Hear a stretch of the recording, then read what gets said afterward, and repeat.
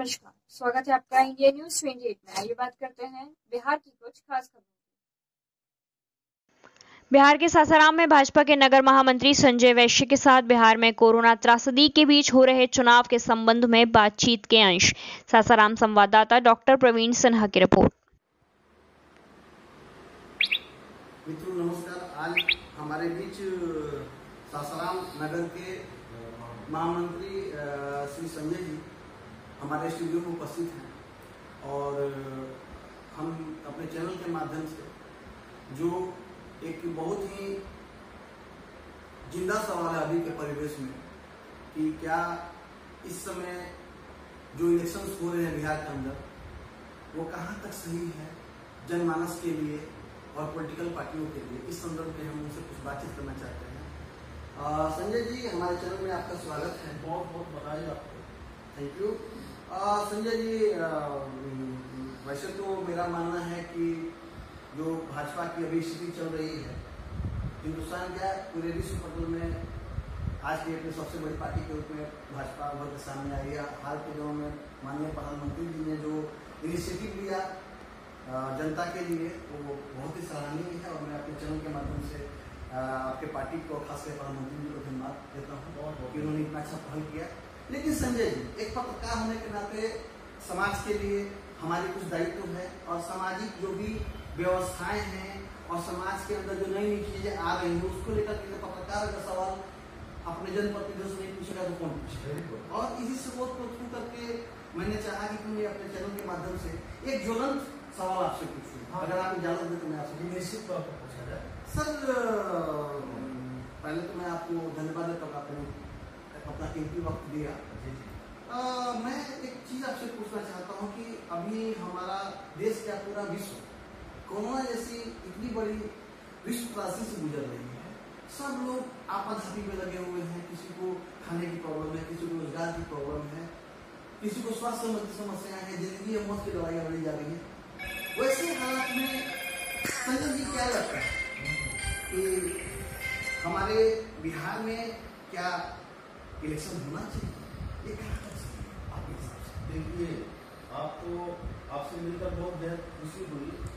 और इस कोरोना काल में जहाँ तक चुनाव आयोग ने चुनाव की तिथियाँ एक निर्धारित करने का अपना प्रयास किया था और चुनाव समय से कराने के लिए जो बात की गई आपको ये जानना ज़रूरी है, चुनाव जो है लोकतंत्र महापर्व है।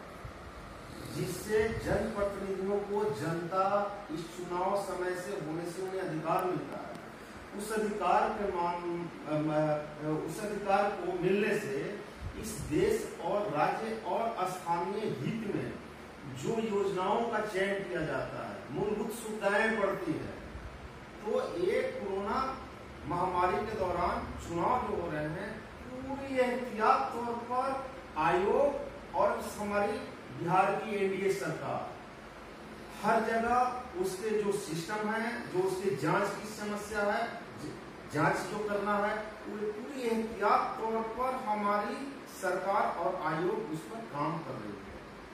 इस दरमियान नागरिकों की सुरक्षा को पूरी तरह से ख्याल रखा गया है। ये तो लोकतंत्र महापर्व को जो समय से होने जा रहा है, जिसने जो क्षेत्रीय राजनीतिक दलों ने इसे चुनाव न कराने की उन्होंने भागीदारी दी चुनाव होना चाहिए। लेकिन आज वहाँ भागीदारी करते हैं और बाहर में आकर कहते हैं कि चुनाव होना नागरिक के लिए बेकार है। ये लोकतंत्र के महापर्व के दुश्मन लोग। जनता के मौलिक अधिकार के शोषण करने वाले क्षेत्रीय राजनीतिक दल के लोग हैं। ये भाजपा जो काम करती है, राष्ट्र, देश और नागरिक के हित में काम करती है, उनकी पूरी ख्याल है। आज माननीय प्रधानमंत्री जी ने इस आपदा के मौके पर हर वर्गों का ख्याल किया है।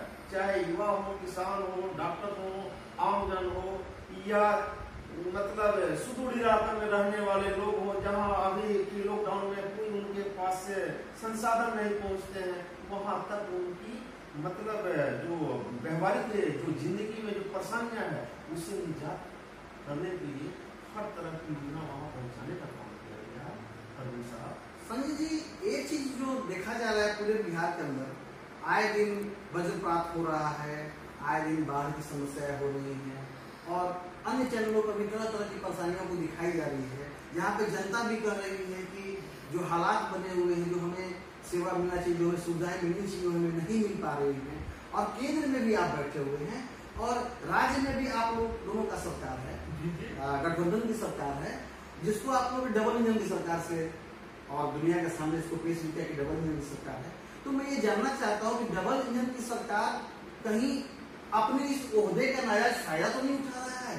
अन्य पार्टियाँ चुनाव का बहिष्कार करना चाहती है, चुनाव नहीं लड़ना चाहती हैं, और आप लोग कह रहे हैं कि नहीं, हम लोग सोशल डिस्टेंसिंग को मेंटेन करते हुए और सारे नॉर्म्स को फॉलो करते हुए जो कोरोना काल में चल रहा है, उसको करते हुए हम इस महापर्व को अंजाम तक पहुंचाना चाहते हैं। ये तो बहुत अच्छी बात है। संविधान के हिसाब से बहुत अच्छी बात है। और चैनल के माध्यम से मैं आप लोगों को बताना चाहूँगा कि आप लोग का काफ़ी अच्छा इनिशिएटिव है लेकिन एक पत्रकार होने के नाते मेरा हक मेरा एक राइट बनता है जनता की तरफ़ से आपसे सवाल पूछना कि आप लोगों को चुनाव के दौरान जो समस्याएँ आएँगी आम जनता को उसको लेकर के क्या आपके द्वारा कोई प्लानिंग किया गया है? मैं आपको बता देना चाहता हूँ कि आप पत्रकार न्यूज़ चैनल से आते हैं। और न्यूज़ चैनल की पूरी अधिकार है, जहाँ वो हम नहीं पहुँच पाते हैं, वहाँ आप पहुँचते अगर यहाँ अगर जन समस्या देश और राज्य और गाँव के अंदर अगर इस कोरोना आपदा के दौरान या बाढ़ ये प्राकृतिक आपदा है, हर वर्ष आते हैं, सरकार उसकी व्यवस्था कर रही है। हमें और भी बेहतर, मज़बूत जो नुकसान है, उसके लिए एक प्लान तैयार की है। उस प्लान तैयार के तहत आपको आने वाला जो वर्ष होगा, वह देखने को मिलेगा।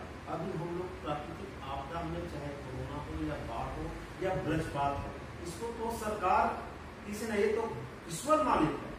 ईश्वर की बहुत बड़ी कृपा है और उसने हमारे केंद्र में नरेंद्र मोदी जी साहब हमारा और आपका एक प्रधानमंत्री सेवक मिला है कि जो आपके पूरी सुरक्षा चाहे देश की सीमा हो या चाहे नागरिकों का अपने जीवन हो उनका पूरा ख्याल रखने का काम हमारी केंद्र की डबल इंजन की जो सरकार आप कर रहे हैं, वह कर रही है। अगर ऐसा होता तो ये चैनल वाले, चाहे वह किसी की भी सरकार हो चैनल वाले किसी के नहीं होते जो चैनल वाले को आरोप लगाया जाता है, ये भाजपा का निगेटिव हो या चाहे आज तक हो।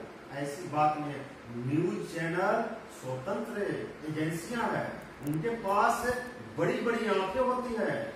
ये उनको पेट में दर्द है, जो आज इस लोकतंत्र के नाम पर उन जनता के बीच जो जन सेवा करना चाहिए, जनता के बीच जिस तरह से उनकी अपनी सहानुभूति व्यक्त करना चाहिए वो चाहे राजद हो, कांग्रेस हो, बहुजन हो, अन्य अर्बन सिस्टम के लोग हो, ये सरकार ये कल भी विरोधी थे और आज विरोधी है।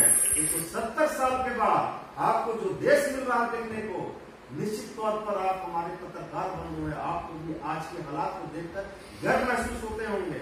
मैं ज़्यादा नहीं बोलना चाहता हूँ। ये तमाम राजनीतिक जो हमारे विपक्ष से, जो हमारे सरकार को और हमारे कामकाज को विरोध करती उनका ज़मीन खिसक राजनीति हमारे प्रधानमंत्री जी और हमारी भाजपा, वह जन जन तक पहुँचने का काम किया। सीधे खाता में आपके, चाहे वो किसान का परिवार हो, या चाहे झुग्गी में रहने वाला परिवार हो, उन परिवारों को खाता में पैसा जा रहा है। नौटंकी इन लोगों को करने का मौका नहीं मिल रहा है मेरे पत्रकार बंधु। तो मैं ज़्यादा नहीं कर सकता हूँ। हमें गर्व है कि लोकतंत्र पर्व इससे कोरोना काल में जो चुनाव हो रहे हैं क्योंकि मैंने जनता का काम किया, जनता की सुरक्षा दी है जनता के साथ कोरोना योद्धा के रूप में हमारे जो स्वास्थ्य विभाग के हो, चाहे सेना हो, पुलिस हो, डॉक्टर हो, अन्य जितने भी जो लोग, चाहे वह दूध बेचने वाला दुकानदार हो, जिसको जिसको लॉकडाउन में नागरिकों को सुविधा मुहैया कराने के चाहे राशन दुकानदार हो, उन सबको मैं हार्दिक स्वागत करता हूँ। और जो इस कोरोना काल में जो गुजर गए, उनका भी मैं स्वागत करता हूँ, उनको नमन करता हूँ कि जो आज इस दुनिया में नहीं है तो ये थे हमारे संजय जी और हमारे स्टूडियो में हमारे नए युवा चेहरा, जिन्होंने एक नया आयाम दिया है युवा भाजपा को। हमारे बीच में रजनीश जी हैं, जो अध्यक्ष हैं, युवा मोर्चा का। अध्यक्ष महोदय सेम यही सवाल मेरा आपसे भी होगा कि आप युवा हैं, आप स्थितियों को, परिस्थितियों को अच्छी तरह ढांप सकते हैं तो आप इस बारे में क्या कहेंगे? देखिए, ये एक लोकतंत्र पर्व है। और ये लोकतंत्र पर्व सही समय से हो जाए तो ही ये जनहित में सही रहता है। और मैं चुनाव आयोग का बहुत बहुत आभार व्यक्त करता हूँ कि उन्होंने सही समय पर सही डिसीज़न लिया है। जी, धन्यवाद। तो ये थे हमारे भाजपा के कार्यकर्तागण, पदाधिकारी, पदाधिकारीगण। और मैं अगली बार फिर किसी ऐसे ही बड़े चेहरे के साथ इंटरव्यू दूँगा, लूँगा। धन्यवाद thank you news twenty eight से doctor Praveen Kumar Sinha state coordinator